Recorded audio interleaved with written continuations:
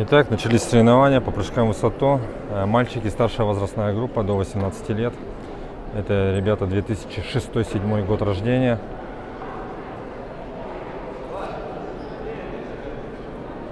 Э, Вот эти спортсмены, э, но в секторе для прыжков в высоту на этих соревнованиях у нас участвуют также и юниоры.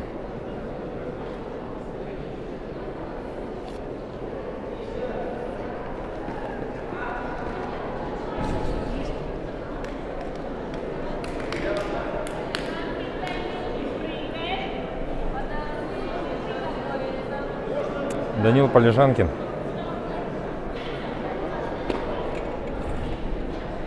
Вчера Данил прыгнул 177 сантиметров в городе Тюмени. Сейчас как-то неуверенно прыгнул 165 сантиметров. Дмитрий Подоруев.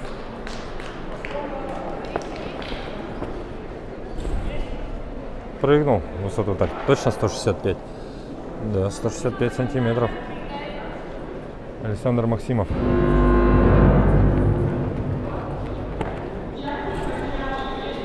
Так, спрашивают, какая высота, раз табло не видно.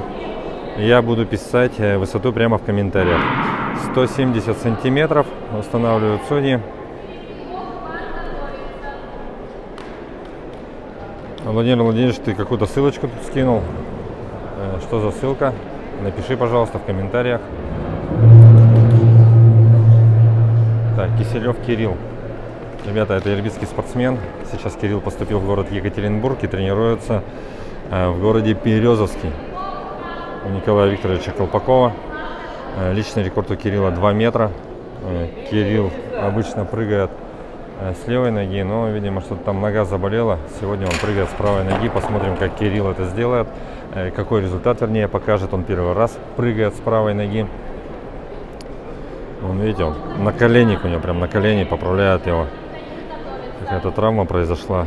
Но это самые такие больные моменты, опасные у прыгунов высоту. Это колени, э, ахилл, надкостница. Э, в основном болит ноги, спина бывает. А вот Владимир Владимирович в комментариях написал онлайн протоколы. Если кому интересно, можете там также следить, э, кто конкретно прыгает, на каких высотах. Итак, Полежанкин Данил, город Ирбит.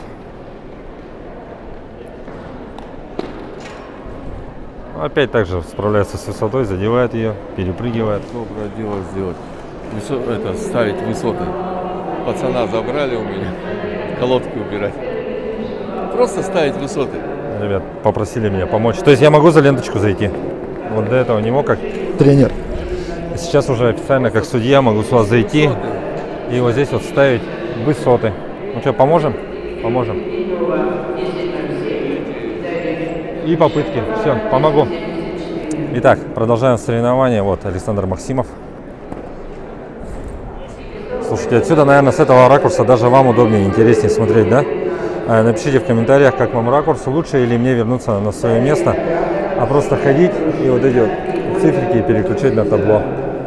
Итак, вторая попытка, высота 170 сантиметров. Иван Серебряков, город Екатеринбург.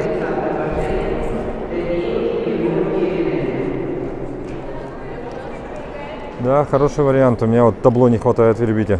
Э, такое бы хотел. Планирую сделать новое. У меня самодельная в Ирбите есть. А вот новое, не знаю, получится или нет. Успею я до апреля. У меня просто много идей.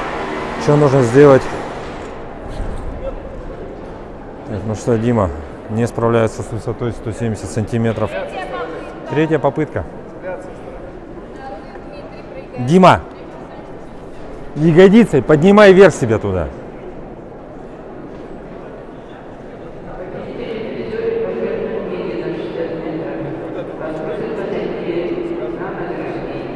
Итак, третья попытка. Давай, Дима.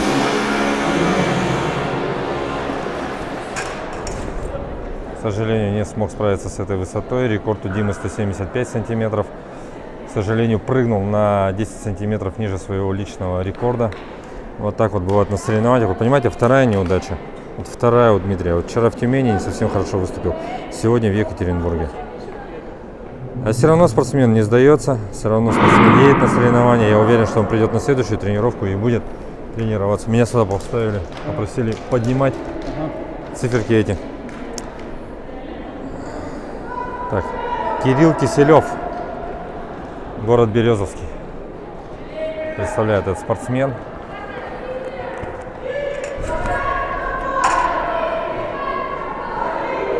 Не преодолел высоту. Николай Викторович, я вам говорил, да, тренирует этого спортсмена сейчас. А тренировался в Ирбите у Валентины Викторовны Лаоза. Это наш ирбитский тренер. Э, Валентина Викторовна у нас тренер-профессионал. Она вообще тренирует спортсменов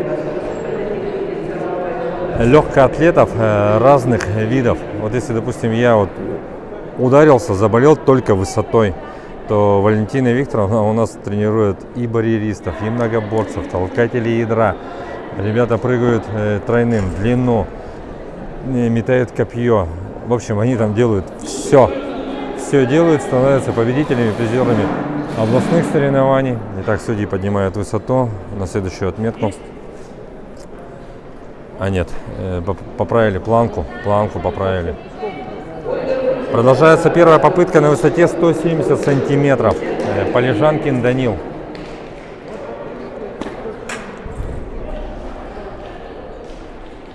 Данил, сразу же туда, туда. Ну, конечно. Максимов Александр сказал, что на этих соревнованиях прыгнет минимум 175 сантиметров.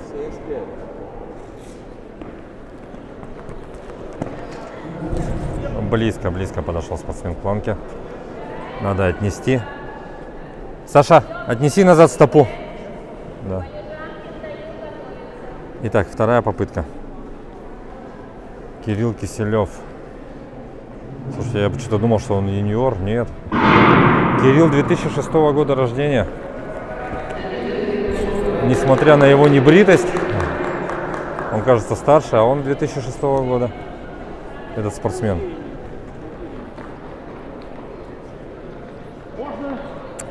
Данил Полежанкин. 175 сантиметров. И, ну, блин, да как, а? Пятками. Ты зачем пятками-то ее задел? Как сама? Сама говорит.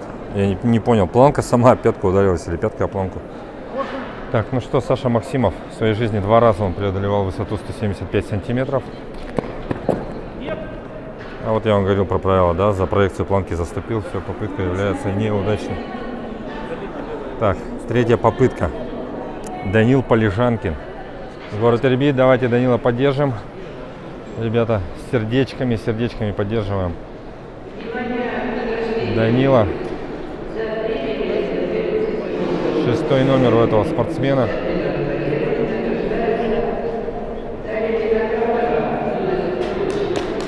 Да ё-моё, а.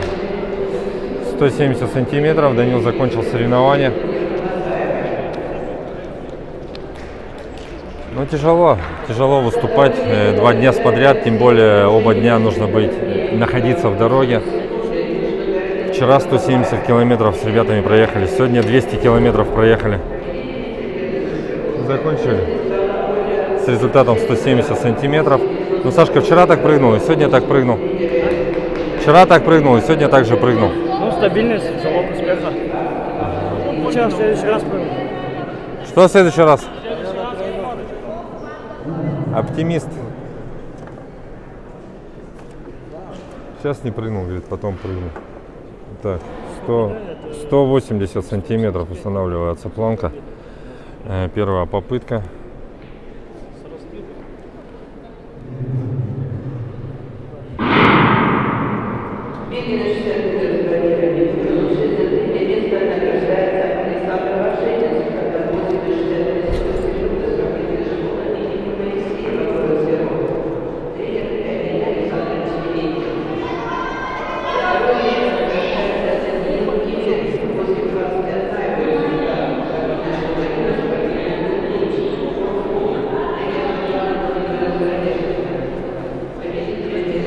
Иван Серебряков, город Екатеринбург. И вот Иван тренируется именно в этом манеже, именно здесь.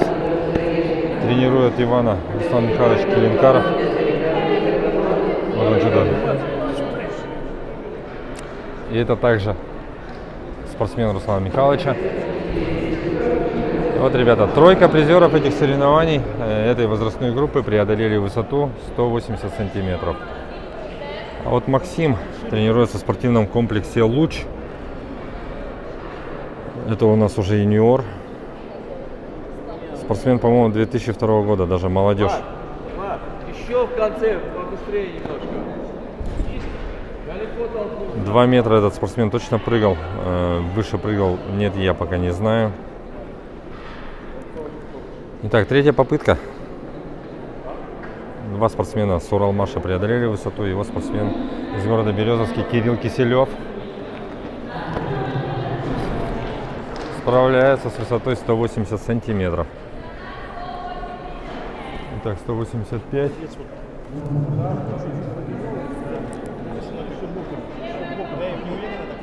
Устанавливается на табло, устанавливается в секторе судьями.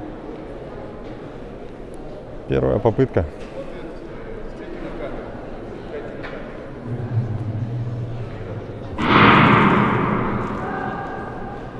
Первая попытка на высоте 185 сантиметров. Иван Серебряков, хозяин этого зала. Здесь тренируется, здесь прыгает, ну и сегодня здесь соревнуется. Что-то он решил отойти в сторону. Что там? Камеру па- парень снимает, тоже его. А, вот Кирилл прыгает, оказывается, я перепутал немножко. Не заметил. Все разворачиваются спиной. Но он не умеет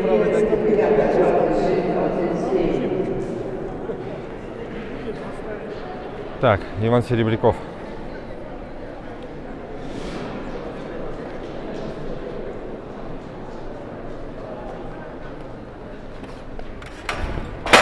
Ну как опасно, а приземляется на край мата, такое ощущение, что перелетит э, мат за пределы и упадет прямо вот сюда вот на песок. А это яма с песком, здесь прыгают в длину с разбега. Вот это место отталкивания. И, как правило, спортсмены разбегаются вон оттуда, вот где флаг Российской Федерации. Ну, прыжки в длину э, проходили вчера, а вчера мы были в городе Тюмень, участвовали в матче встречи городов Сибири и Урала. Выступили очень хорошо, особенно ребята средней возрастной группы порадовали своими результатами.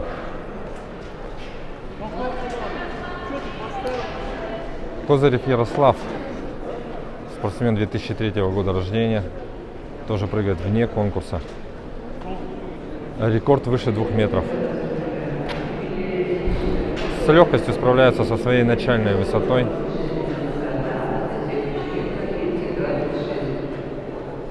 Максим, ребят, очень сложно выговариваться у этого спортсмена фамилия, поэтому я буду представлять вам просто по имени. С Екатеринбурга тренируется в Луче. Э, В детстве тренировался у Владимира Петровича Черноножкина, очень хороший тренер. А сейчас тренируется у Александра Сергеевича Хрулика. Он сидит, подсказывает спортсмену. А вот смотрите, о чем я вам говорил, очень опасно спортсмен приземляется, и поэтому судьи готовят более такое безопасное место, чтобы спортсмен на разбеге и во время прыжка чувствовал себя уверенно. Давайте посмотрим, куда спортсмен приземлится. Я сейчас с другого ракурса попробую вам показать. Вторую попытку на высоте 185 сантиметров. Иван Серебряков.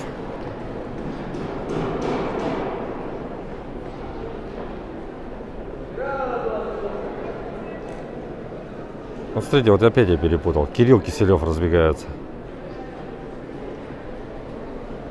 Кирилл Киселев.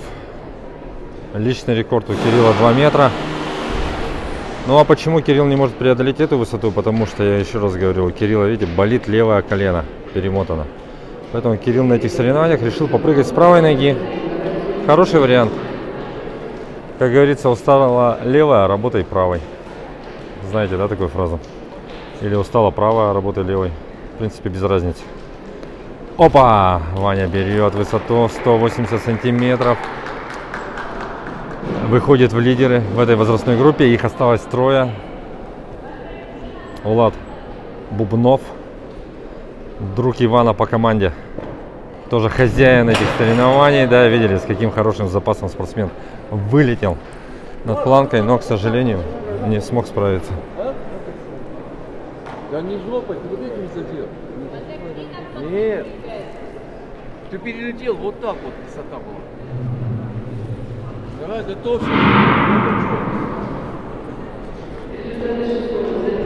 Максим справляется с высотой 185 сантиметров. Уверенно. Максим является кандидатом в мастера спорта по легкой атлетике. Итак, третья попытка. Ребят, болею за Кирилла. Вот за этого спортсмена.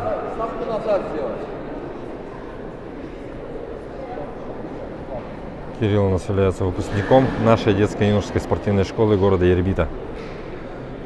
Закончил школу с нормативом кандидат мастера спорта, с рекордом 2 метра. Но, к сожалению, эти соревнования Кирилл закончил. Но в любом случае попал призы на этих соревнованиях, поднимется на пьедестал почета, с чем мы Кирилла, конечно, поздравляем. Ну и очень хороший результат, прыгнул 180 сантиметров, не со своей ноги, прыгнул он с правой. Итак, Бубнов, Владислав, но немножко не хватило спортсмену преодолеть высоту 185 сантиметров.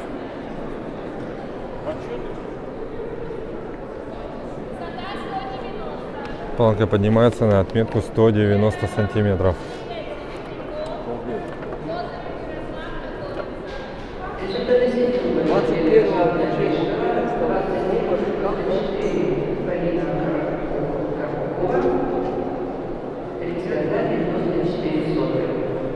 Так, ну что, Иван Серебряков, город Екатеринбург. Опасно, опасное приземление на край мата. Вот если честно, сам уже начал переживать за этого спортсмена. Вот судья делает, видимо, какие-то замечания. Замечания делает, э, потому что судья тоже ответственный за технику безопасности в секторе.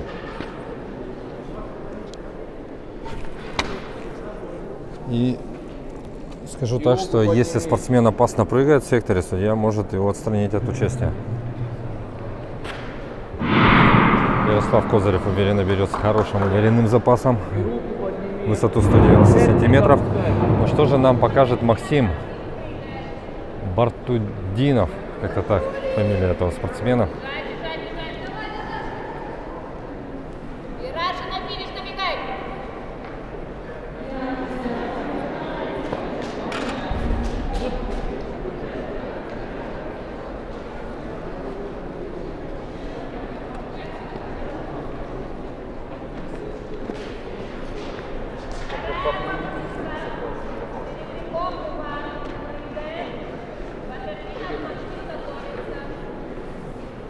Вторая попытка на высоте 190 сантиметров.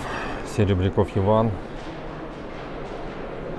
Один участник в своей возрастной группе. Остальные спортсмены прыгают вне конкурса.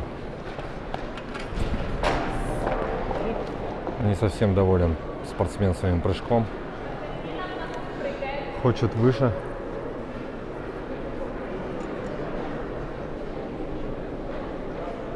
А, я думаю, почему Николай Викторович с ним разговаривает? Я думал, он ему замечания делает. А получается так, что этот спортсмен...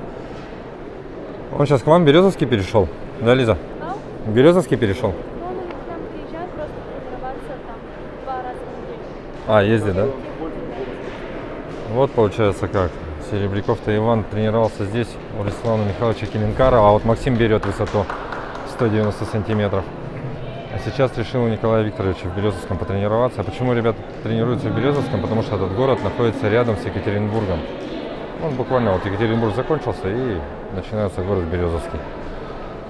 Но в любом случае добираться на общественном транспорте до Березовского часа полтора, я думаю, из центра города. Так, Иван Бери... Серебряков.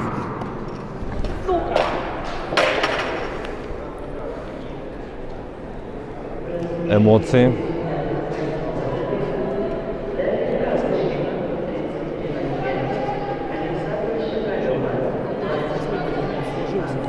Итак, планка поднимается на отметку 195 сантиметров.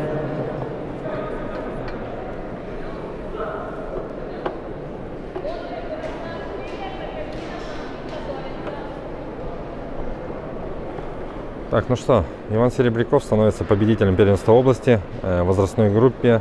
Пе-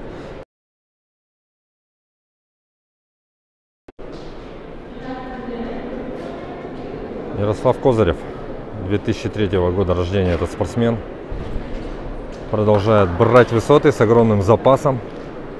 Хорошие прыжки у этого спортсмена. Максим, город Екатеринбург.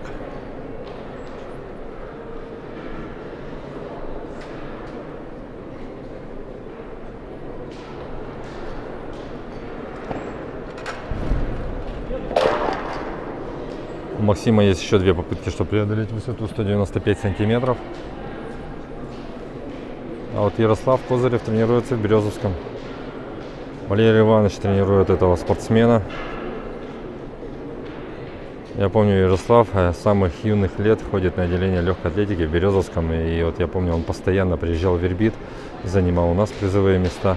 Но какое-то время Ярослав не ходил на тренировки. Ребята, ну я его года два, наверное, не видел. И вот он появился буквально недавно, ребята, и этот спортсмен вырос, я не знаю, сантиметров на 20, наверное. Прыжки у него просто поперли. Выполнил норматив кандидата в мастера спорта. А вот этот Максим, спортсмен 2002 года рождения, по-моему. Возможно, я ошибаюсь, ребят.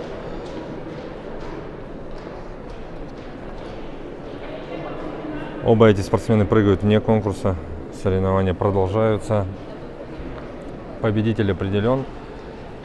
А вот ребята вот в качестве тренировки, чтобы потренироваться в соревновательной обстановке. Я вам вчера говорил на прямом эфире, что это необходимо. Необходим соревновательный опыт для того, чтобы справиться с волнением на соревнованиях. Чем больше соревнований, тем быстрее ты к ним привыкаешь, соответственно, в дальнейшем тебе становится легче. Даже вот несмотря на то, что ребята уже в старшей возрастной группе, юниоры, им все равно необходимо большое количество участий на соревнованиях. Ах, ну подлетел-то хорошо, а. Планочку сверху зацепил. Максим.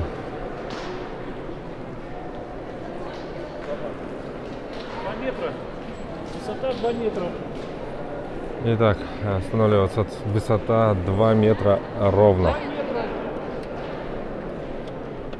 Чуть ли 3 метра не поставил. Так, а как 2-то установить?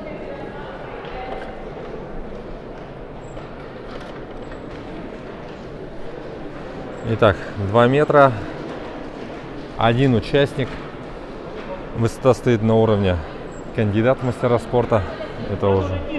А, даже 2.01. 2.01. 2.01. Попросил спортсмен.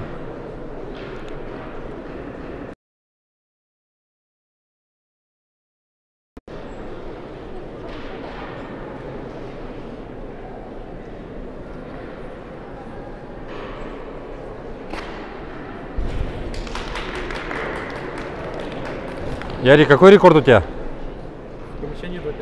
Помещение 2,5. 2.5. Так, высота 2.06. 2.06. Э, Ну, вы уже, наверное, догадались, если слышали э, то, о чем сказал сейчас Ярик. Рекорд его личный 2 метра 5 сантиметров. Сейчас идет на установление рекорда.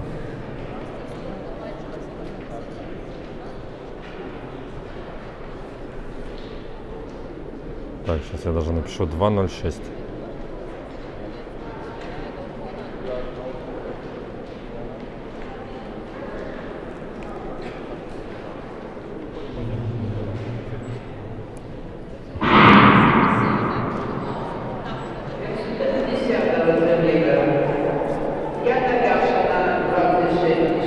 Дается время отдохнуть спортсмену, потому что он остался один. И, ребята, я вам скажу так, что хоть и бегут спортсмены буквально 6-8 шагов до планки, в отличие от бегунов, да, а устают-то они нисколько не меньше.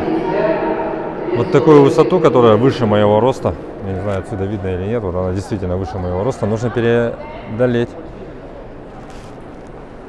Кстати, Ярослав тоже примерно ростом 195 сантиметров, плюс-минус, может, сантиметра два. Вот так вот на вид. Сейчас планка установлена на высоте 2,06. Это выше, ну, грубо сказать, так, э, на 11 сантиметров. Есть такая поговорка, выше головы не прыгнешь.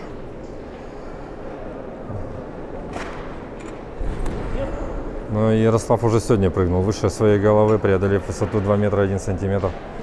Получится нет у него преодолеть высоту 2,06. Мы узнаем. У Ярослава осталось еще две попытки. Какие правила соревнований. Сейчас он советуется с тренером. Тренер подсказывает, какие ошибки совершил спортсмен. Многие подумают, да какие ошибки, что-то разбежался, допрыгнул. Ребята, скажу так, что прыжки в высоту – это очень сложный технический вид легкой атлетики. Очень сложный. Есть свои какие-то определенные моменты в разбеге. Вы видели, да, что сначала спортсмены бегут по прямой, потом они бегут по дуге. Э, Также есть какие-то технические моменты, как правильно бежать по дуге. Подталкивание, в полете, в приземлении. Это я вам рассказал про основные фазы прыжка. И в каждой фазе спортсмен может допустить ошибки. И вот если даже вот в расталкивании на начале разбега, разбега что-то пошло не так, не получится прыгнуть высоко. А как спортсмен со стороны посмотрит? Какие ошибки он совершает во время прыжка? Никак. Для этого и нужен тренер на соревнованиях, чтобы смотреть и подсказывать. Ну, вот какие-то тренера смотрят и подсказывают, а вот такие вот, как я, а редко подходят и подсказывают ученикам. Знаете почему? Потому что когда едешь на хорошее соревнование, ну как хорошее, эти тоже хорошие соревнования, такие как первенство России, тренеров не подпускают даже к сектору. И уже спортсмен должен сам бороться как-то, без подсказок. А если он привыкнет к подсказкам тренера, соответственно, он не сможет показать самостоятельно свой э, лучший результат. Так что я вот для себя решил с детства, пускай тренируется, тренирует, участвовать самостоятельно.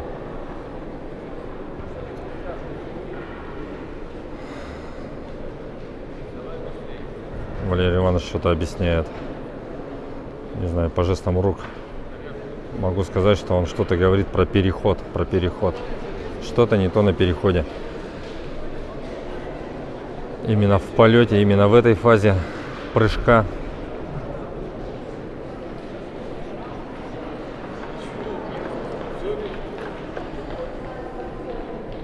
Руслан Михайлович что-то тоже говорит про технику прыжка. Да, тренера все любят обсуждать, кто как прыгает. И потом тренера советуются между собой, подсказывают, э, кто видит со своей стороны э, технику спортсмена.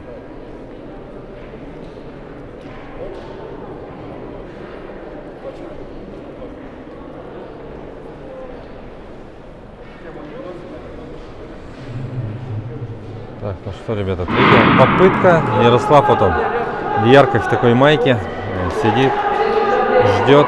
А вот, ребят, по кругу идет бег на 200 метров. Девочки бегут, смотрите, на какой скорости, на огромной. Проходят вираж.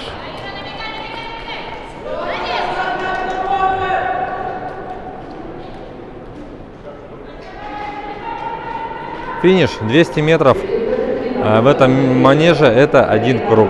Стандартный манеж, легкоатлетический, круг 200 метров. Конечно, в России есть много нестандартных манежей. Есть манежи, круг 150 метров. Но я слышал, что в Тагиле такой манеж есть, в Нижнем Тагиле. Правда, я ни разу там не был, только слышал про него. Итак, третья попытка.